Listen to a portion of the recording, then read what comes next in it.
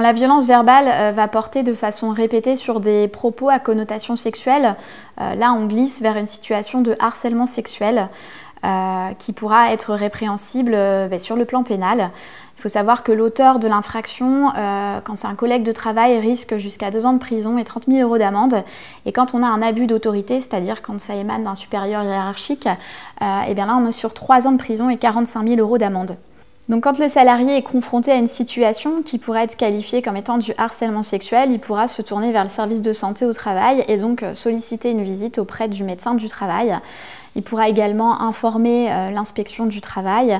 Et puis, euh, au sein de l'entreprise, bien entendu, il faudra informer les représentants du personnel et le CSE, le comité social et économique, euh, tout en sachant que pour les grosses structures, depuis le 1er janvier 2019, un référent harcèlement sexuel doit être renommé et son nom doit être porté à la connaissance de l'ensemble des salariés par l'employeur.